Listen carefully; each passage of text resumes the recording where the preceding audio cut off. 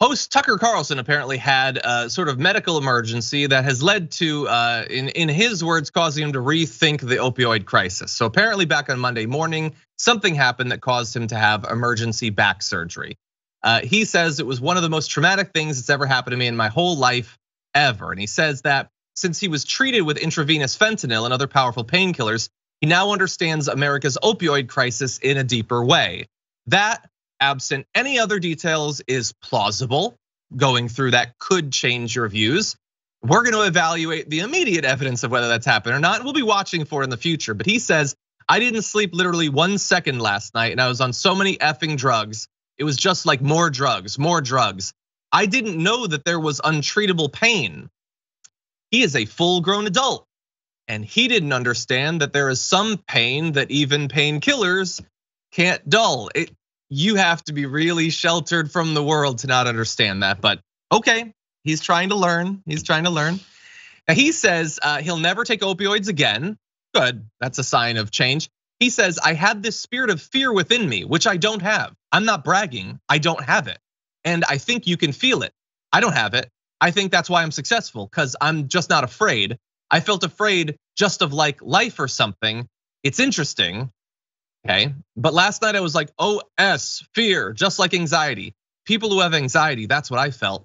And it was from those drugs. And they extinguish the spirit within you. And they make you feel like you're running away, you're hiding. It's so effing deep. I'm lying in bed, filthy with dog toys on my pillow, and it doesn't bother me. And I'm not that way.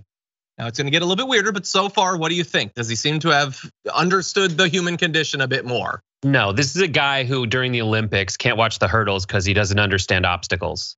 He's like, I don't get it. I've never encountered one in my entire damn life. And the one time he does, he's just like, oh, wow, obstacles are difficult. And he doesn't, and, and the idea that he doesn't have a spirit of fear, but he relies on it all the time, every day, in every yeah. broadcast he does. All he does is stoke fear, whether he has or he's never had to have it because he's never encountered adversity. The only time he encountered a modicum of adversity was when he got fired from a job or two because he got called out by someone who was right. But why would he fear that? He could never work a day in his life and be richer than you and I combined will ever be. So, yeah, you don't have a spirit of fear because what could you possibly fear?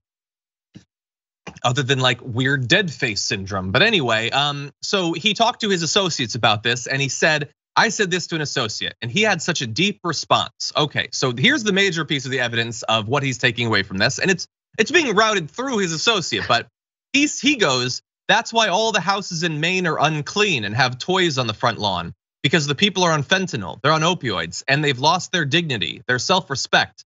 The thing that makes you super uptight when you look at your house and you're like, ah, the shutters need painting. F, maybe you paint them, or maybe you don't, but it bothers you because you have dignity that's gone. So you're like, oh, there's a half chewed rawhide toy on my pillow. Okay, lie there with it. I don't live like that. Have you ever been to my house? We're not crazy, but we're orderly people because we have self respect. This this does nothing to help anyone the way that he's doing this. I love it. It's like, oh, you know how I'm gonna like houses in Maine are dirty.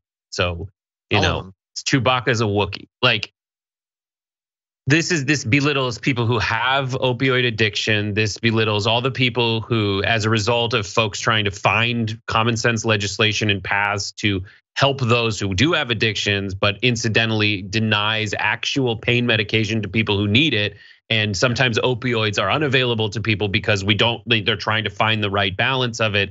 Um, this is tucker carlson being like thinking he really understands people because he saw a movie about it basically. Like this is not it. What you had and then also folks who who who feel actual pain that isn't biologically happening in their body because the way that they've been conditioned after the opioids got them through the actual pain is telling their body no you still need opioids so you're in a lot of pain. All of these things are happening. None of them are a priority in terms of understanding them for Tucker Carlson